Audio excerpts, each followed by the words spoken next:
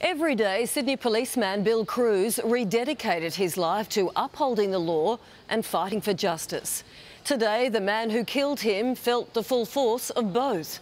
Philip Nguyen's original sentence was almost doubled by an appeals court. Here's crime reporter Andrew Denny.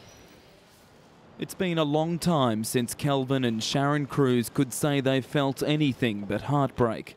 It is relief, um, relief and sorrow. Today, the man who pleaded guilty to their son's manslaughter had his jail time nearly doubled from 7 to 13 years. The final sentence is, is never enough, really, but um, justice has been shown to be done. Constable Bill Crews was shot dead during a raid on the drug dealer's property in 2010. Philip Nguyen fired the first shot, but Crews was caught in the crossfire, killed by friendly fire.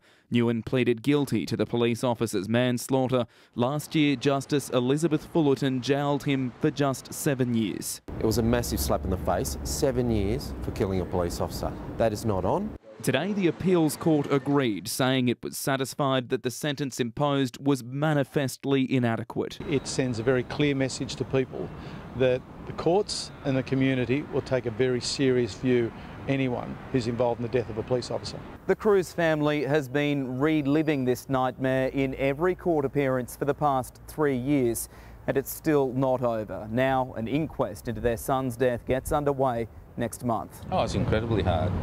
You know, like it's hard on the family, you know, hard, hard on everyone. Harder again, Nguyen's lawyer hasn't ruled out another appeal. Certainly he's so disappointed about uh, this issue. He'll be nearly 70 years old by the time he's allowed out.